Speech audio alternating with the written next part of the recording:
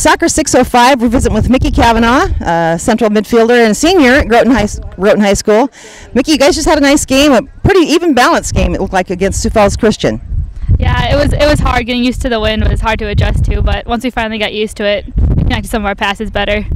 Well, and not only the the wind, but here at USF Field, you're playing on turf, and you probably don't play on turf very often, do you? No, not really used to the whole turf burn thing.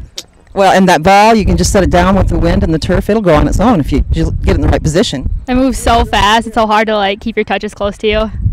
Well, we were really happy to finally get to see you guys play this year. We haven't had that pleasure of watching the Groton ladies play soccer this, this season yet, and hoping to see you on, on the field in some other games, if not at state tournament. Yeah, hopefully we make it in. That'd be awesome.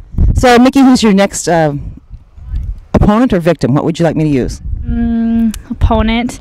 I don't think we have a game until our um, homecoming game next Tuesday, and it's against Aberdeen Central. So That'll be a good match. We did get to see Aberdeen girls play last night. They're moving the ball around really nicely. You guys have played them before, haven't you? yeah, we played them um, last weekend at turf. So that's next. This next one won't be on turf though, so maybe we'll have a little advantage. Well, it looked like you guys um, held your own with them for most of the game too. So that's that's not a, a bad score to come away with playing that team. That's for sure.